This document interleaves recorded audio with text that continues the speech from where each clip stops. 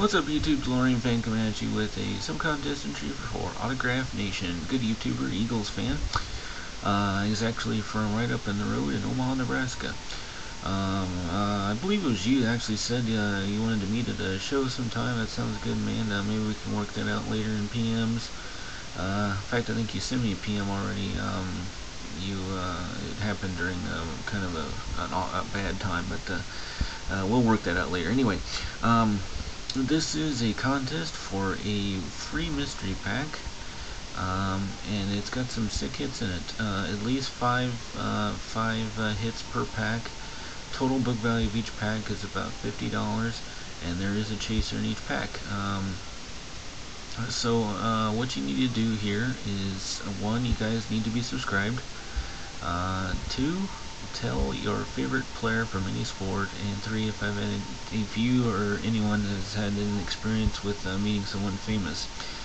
Um, you know, um, probably my favorite uh, sports person of all time would have to be Dale Earnhardt. Uh, he kind of came up during the, you know, kind of uh, really the rub in his recent years and then kind of progressed into you know what we have now uh, came up uh, you know before all that uh, having to make sure everyone in, on your fire suit was mentioned, and uh, he and uh, DW and Cale Yarborough and those guys came up, uh, you know, the kind of the hard-nosed era, and uh, you know all these young guys that came up around him kind of were like, you know, I'm going to show this old man what to do, and he would bang up all four fenders, leave donut and tire marks on each door, and then take off and still win. So uh, uh, definitely one of my favorites of all time.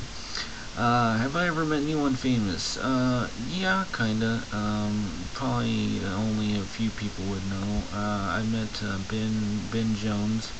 Uh, I should have brought those pictures up.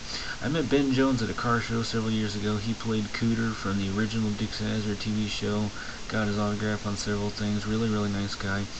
And uh, the most memorable one was a couple years ago. I met Chip Foose uh, from Overhaulin' on TLC.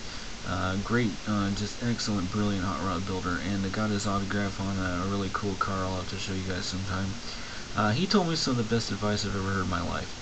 I asked him what uh, what advice you'd give to someone who wants to get into his field, which is what I, my ultimate dream is, and he said, uh, follow uh, follow your heart and uh, he said never let a customer talk you into building a car that you would never build because after all that's your name on it. And it's some of the greatest advice I've ever heard and I'll never forget it. So guys this ends in a couple of weeks.